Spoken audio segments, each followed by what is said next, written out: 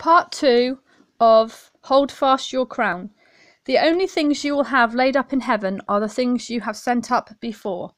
From the book of Matthew, chapter 6, verse 19. Lay not up for yourself treasures upon earth, where moth and rust doth corrupt, and where thieves break through and steal. But lay up for yourself treasures in heaven, where neither moth nor rust doth corrupt, and where thieves do not break through nor steal. For where your treasure is, there will be your heart also.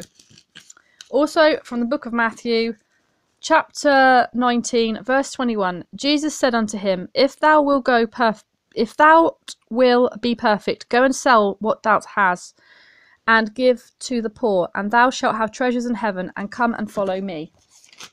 So, the final thought running the race, working for that gold crown in the Olympics of God.